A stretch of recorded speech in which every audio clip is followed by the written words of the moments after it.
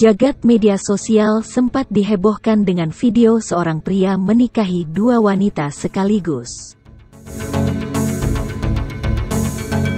Berdasarkan keterangan video viral yang dibagikan akun Facebook Doyok Potret, dituliskan pria dalam video itu menikahi dua pengantin wanita sekaligus.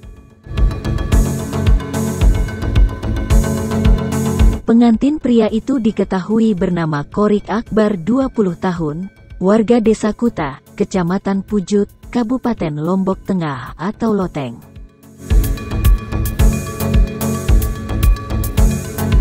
Sementara mempelai perempuan bernama Husnul Khotimah 20 tahun, warga Desa Prabu dan Yunita Nuri 21 tahun, warga Desa Rambitan.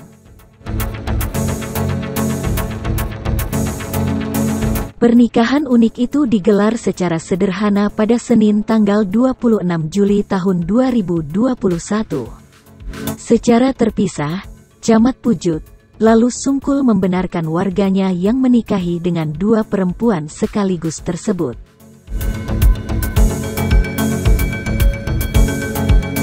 Menurut informasi, kedua mempelai perempuan dibawa nikah di hari yang sama.